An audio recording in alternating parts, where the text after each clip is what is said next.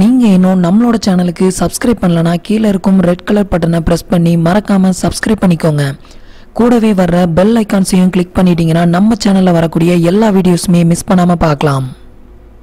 Friends இன்னைக்கு நம்ம சேனலில் ஒரு யூஸ்ஃபுல்லான வீடியோ பற்றி பார்க்கலாம். இன்னைக்கு நம்ம சேனலில் பார்க்க போகிற வீடியோஸ் என்ன அப்படின்னு பார்த்தீங்கன்னா நம்மளோட எஸ்பிஐ பேங்கில் வந்துட்டு நம்ம ஏற்கனவே வச்சுருந்த ஓல்டு ஏடிஎம் கார்டுக்கு பதிலாக இஎம்வி சிப் பொருத்தப்பட்ட ஒரு நியூ ஏடிஎம் கார்டை வந்துட்டு எப்படி நம்ம ஆன்லைனில் அப்ளை பண்ணி வாங்குறது அப்படிங்கிற டீட்டெயிலை பற்றி தான் இந்த வீடியோவில் பார்க்க போகிறோம் ஃபஸ்ட்டு பார்த்தீங்கன்னா உங்களோட இந்த ஏடிஎம் கார்டுக்கு வந்துட்டு நியூ ஏடிஎம் கார்டுக்கு அப்ளை பண்ணுறது பார்த்தீங்கன்னா ரெண்டு விதமான மெத்தடில் நீங்கள் வந்து அப்ளை பண்ணிக்கலாம். ஒன்று வந்து பார்த்தீங்கன்னா ஆன்லைன் மூலமாக அனதர் ஒன் பார்த்தீங்கன்னா ஆஃப்லைன் இப்படி ரெண்டு மெத்தடில் நீங்கள் வந்து அப்ளை பண்ணிக்க முடியும். ஆஃப்லைன் மெத்தட் அப்படின்னா என்ன அப்படின்னு பார்த்தீங்கன்னா நீங்கள் வந்து ஃபிசிக்கலாக உங்களோட பிரான்ச்சை காண்டாக்ட் பண்ணி அவங்க ஒரு ஃபார்ம் கொடுப்பாங்க. அந்த ஃபார்மை நீங்கள் ஃபில் பண்ணி கொடுக்கறது மூலமாக பார்த்தீங்கன்னா உங்களுக்கு நியூ இஎம்வி சிப் பொருத்தப்பட்ட உங்களுக்கு அந்த ஏடிஎம் கார்டு வந்துட்டு நீங்கள் ஃபிசிக்கலாக அப்ளை பண்ண வேண்டியிருக்கும். எப்படி நீங்கள் அப்ளை பண்ணியும் நீங்கள் ஏடிஎம் கார்டை வாங்கிக்கலாம். நெக்ஸ்ட் இன்னொரு மெத்தட் பார்த்தீங்கன்னா நீங்கள் ஆன்லைன் மூலமாக வந்துட்டு நீங்கள் அப்ளை பண்ணியும் நீங்கள் வந்துட்டு அந்த ஏடிஎம் கார்டை வந்து புது ஏடிஎம் கார்டை வந்து நீங்கள் வாங்கிக்க முடியும். அதை பற்றின ஃபுல் டீட்டெயில் தான் இந்த வீடியோவில் பார்க்க போகிறோம் இது மாதிரியான யூஸ்ஃபுல்லான வீடியோவை நீங்கள் கண்டினியூஸாக பார்க்கணும் அப்படின்னா நம்மளோட சேனலுக்கு மறக்காமல் சப்ஸ்கிரைப் பண்ணிக்கோங்க. இப்போ வந்து எப்படி நம்ம எஸ்பிஐ பேங்க்கில் வந்துட்டு இன்டர்நெட் பேங்கிங்கை யூஸ் பண்ணி நியூ ஏடிஎம் கார்டுக்கு எப்படி நம்ம அப்ளை பண்ணுறது அப்படிங்கிற டீட்டெயிலை பற்றி தான் இந்த வீடியோவில் பார்க்க போகிறோம் நீங்கள் ஏற்கனவே வந்துட்டு சிப் பொருத்தப்பட்ட அந்த புது ஏடிஎம் கார்டை யூஸ் பண்ணுறீங்க அப்படின்னா உங்களுக்கு இந்த வீடியோ வந்து மேக்ஸிமம் யூஸ் ஆகாது. அதாவது சிப் எதுவுமே பொருத்தாத ஓல்டு ஏடிஎம் கார்டை யூஸ் பண்ணிக்கிட்டு இருக்கிறவங்க வந்துட்டு நியூ ஏடிஎம் கார்டுக்கு எப்படி அப்ளை பண்ணுறது அப்படிங்கிற டீட்டெயில் தான் இந்த வீடியோவில் நம்ம பார்க்க போகிறோம் நெக்ஸ்ட் உங்களோட ஏடிஎம் கார்டு தொலைஞ்சிருந்து உங்கள்கிட்ட ஏடிஎம் கார்டு இல்லை அப்படின்னாலுமே அவங்களும் இந்த மெத்தடை யூஸ் பண்ணி நீங்கள் புது ஏடிஎம் கார்டை வந்து அப்ளை பண்ணிக்கலாம். இப்போ அந்த எப்படி நம்ம அப்ளை பண்ணுறது அப்படின்னு பார்க்கலாம். ஃபஸ்ட்டு உங்களோட எஸ்பிஐ பேங்க் அக்கௌண்ட்டை வந்து லாகின் பண்ணிக்கோங்க.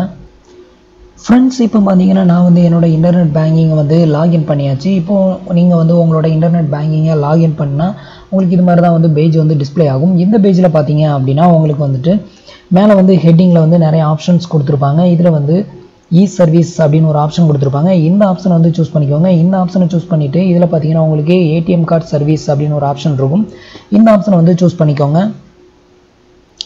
நெக்ஸ்ட் பார்த்தீங்கன்னா உங்களுக்கு இது மாதிரி தான் பேஜ் ஓப்பன் ஆகும். இந்த பேஜில் நீங்கள் என்ன பண்ணணும் அப்படின்னு பார்த்தீங்கன்னா கீழே வந்து பார்த்தீங்கன்னா உங்களுக்கு ரிக்வஸ்ட் ஏடிஎம் டெபிட் கார்டு அப்படின்னு ஒரு ஆப்ஷன் கொடுத்துருப்பாங்க. இந்த ஆப்ஷனை வந்து சூஸ் பண்ணிக்கோங்க.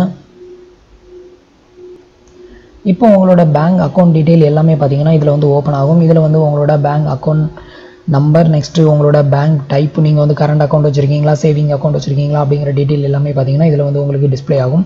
இதில் நீங்கள் கீழே வந்தீங்க அப்படின்னா உங்களுக்கு வந்து உங்களோட அக்கௌண்ட் வந்து அக்கௌண்ட் நம்பர் வந்து இதில் டிஸ்ப்ளே ஆகும். நெக்ஸ்ட் நீங்கள் என்ன பண்ணணும் அப்படின்னு பார்த்தீங்கன்னா நீங்கள் வந்து புது ஏடிஎம் கார்டுக்கு அப்ளை பண்ணுறீங்க அப்படின்னா நேம் ஆஃப் த கார்டு இதில் வந்துட்டு நீங்கள் அப்ளை பண்ண போகிற அந்த புது கார்டில் என்ன நேம் வேணும் அப்படிங்கிறத வந்துட்டு நீங்கள் வந்து இதில் என்ட்ரு பண்ணிக்கோங்க. இப்போ எக்ஸாம்பிளுக்கு நான் வந்து என்னோட நேம் வந்து என்ட்ரு பண்ணிக்கிறேன். இது மாதிரி நீங்கள் அப்ளை பண்ண போகிற அந்த புது ஏடிஎம் கார்டில் வந்துட்டு யாரோட நேம் வந்துட்டு வேணும் அப்படிங்கிறத நீங்கள் வந்து இதில் சூஸ் பண்ணிக்கோங்க. நெக்ஸ்ட் வந்து உங்களோட கார்டு கார்டை வந்து நீங்கள் வந்து சூஸ் பண்ணுங்கள் எந்த விதமாக எந்த மாதிரியான கார்டு வந்துட்டு உங்களுக்கு வேணும் அப்படிங்கிறத வந்து இதில் நீங்கள் வந்து செலக்ட் பண்ணிக்கலாம். இதில் வந்து பார்த்திங்கன்னா நிறைய விதமான கார்டோட நேம் வந்து இதில் கொடுத்துருக்குறாங்க. இதில் உங்களுக்கு எந்த கார்டு வேணும் அப்படிங்கிறத வந்து நீங்கள் சூஸ் பண்ணிக்கோங்க. மாஸ்டர் கார்டு வேணுமா? இல்லை விசா கார்டு வேணுமா? இல்லை ருபியா கார்டு வேணுமா? அப்படிங்கிறத வந்துட்டு நீங்கள் வந்து செலக்ட் பண்ணிக்கோங்க. இப்போ எக்ஸாம்பிளுக்கு நான் வந்துட்டு குளோபல் விசா கார்டை வந்துட்டு நான் இப்போ செலக்ட் பண்ணியிருக்கேன். இதை செலக்ட் பண்ணிவிட்டு கீழே வந்து ஒரு டேர்ம்ஸ் அண்ட் கண்டிஷன் கொடுத்துருப்பாங்க. இதில் வந்து டிக் பண்ணி விட்டுக்கோங்க. டிக் பண்ணி விட்டுட்டு சப்மிட் கொடுத்துருங்க.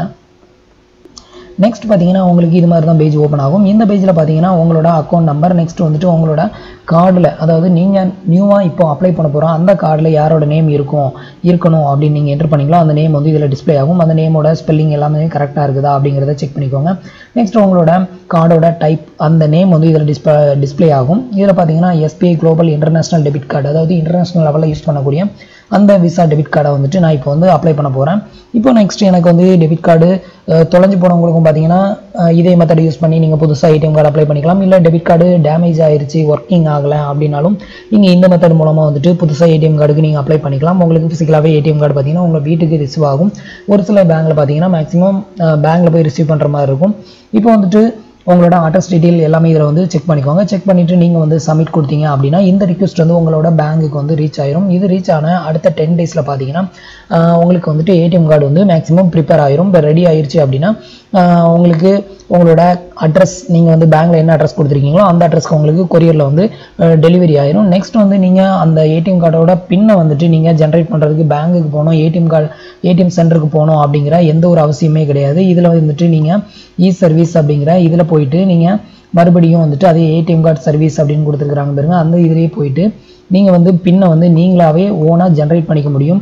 அதுக்கான எல்லா விதமான ஆப்ஷன்ஸுமே பார்த்தீங்கன்னா இதுலேயே உங்களுக்கு கொடுத்துருப்பாங்க. இதில் ஏடிஎம் கார்டு சர்வீஸ் அப்படின்னு இருக்குது. இதை வந்து சூஸ் பண்ணிக்கோங்க. இதிலே பார்த்தீங்கன்னா உங்களோட அந்த நியூ ஏடிஎம் கார்டுக்கான பின்னை வந்து நீங்கள் இந்த ஆப்ஷனை யூஸ் பண்ணி நீங்களே ஜென்ரேட் பண்ணிக்கலாம். நீங்கள் எந்த விதத்துலையுமே பார்த்தீங்கன்னா பேங்க் வந்து காண்டாக்ட் பண்ணணும் அப்படிங்கிற அவசியமே கிடையாது. மற்ற பேங்க்லலாம் பார்த்தீங்கன்னா நீங்கள் ஏதாவது ஒரு விதத்தில் ஒரு இன்டர்நெட் பேங்கிங்கை ஆக்டிவேட் பண்ணணும்னா உங்களோட பேங்க் சப்போர்ட் இல்லாமல் ஆக்டிவேட்டே பண்ண முடியாது. நீங்கள் பேங்கை ஒரு டைமாவது நீங்கள் விசிட் பண்ண வேண்டியிருக்கும். எக்ஸாம்பிளுக்கு Indian Bank Indian Overseas Bank இதெல்லாம் பார்த்தீங்கன்னா நீங்கள் பேங்க்கில் போய் ஒரு டைமாவது நீங்கள் வந்துட்டு காண்டாக்ட் பண்ணால் தான் உங்களோட பேங்க் வந்து ஆக்டிவேட் ஆகும்.